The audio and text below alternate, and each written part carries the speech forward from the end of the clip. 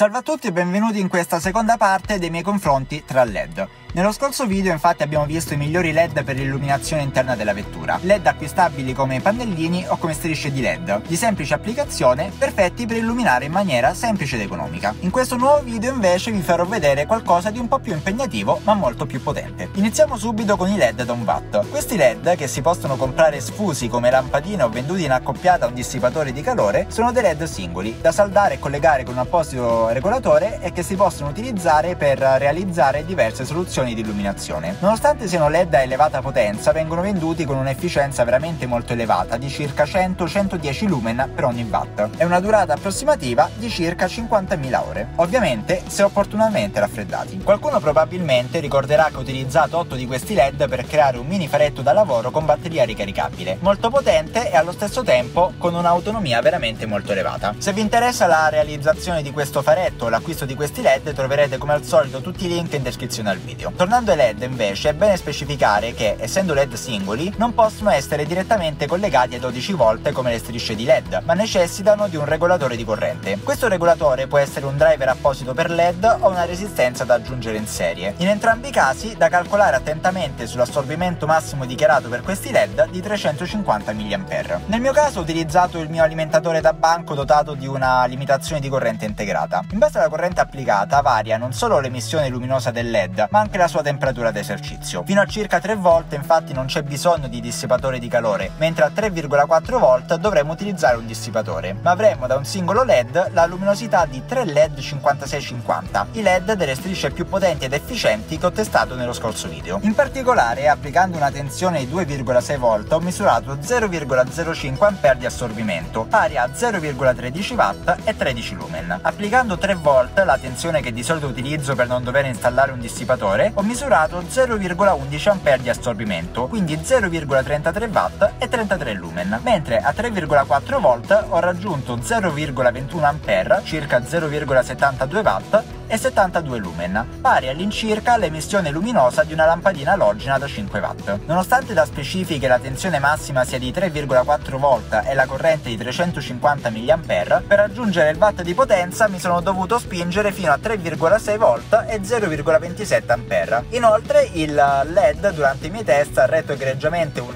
leggerissimo overvolt fino a 3,7 volt dove ha superato di poco 1,1 watt e circa 110 lumen emessi. Questi non sono ovviamente LED alla portata di chi cerca una soluzione di facile installazione, ma sono sicuramente l'ideale per chi cerca un'elevata luminosità in uno spazio ridotto, oltre a un'elevata efficienza energetica. In particolare sono dei LED veramente ottimi da collegare a tensioni inferiori a 12 volt, visto che tutte le strisce LED e le lampadine d'auto funzionano esclusivamente a 12 volt e quindi sono veramente utili per progetti particolari e soprattutto per progetti a batteria. Fermo restando il fatto che è sempre possibile collegarli in serie con un'opportuna resistenza per per farli funzionare anche a 12 volt. Però se volessimo veramente tanta luce, per esempio per effettuare lavori in notturna, per illuminare meglio un punto inaccessibile nel vano motore o anche solo per avere una fonte di illuminazione extra in caso di bisogno, quello che ci servirebbe sarebbe un bel faretto comodo e compatto. No, non il mio faretto con LED depotenziati, intendo un vero faretto LED come questo, dotato di una costruzione interamente in metallo, un regolatore di tensione integrato e un sistema dissipante con alette di metallo, oltre a presentare una bellissima finitura in nero opaco e un faretto 12 volt dotato di 9 LED da 3 watt.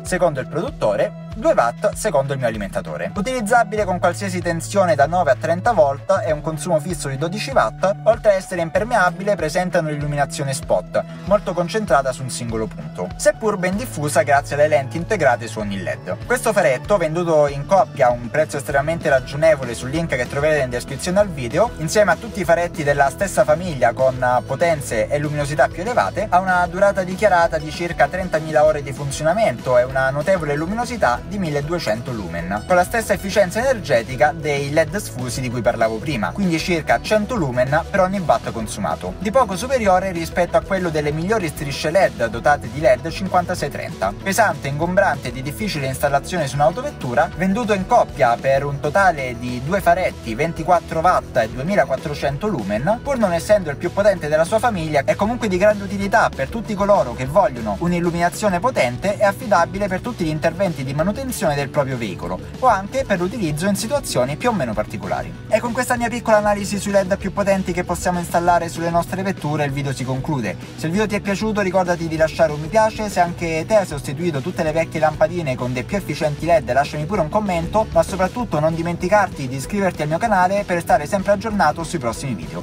Ciao a tutti!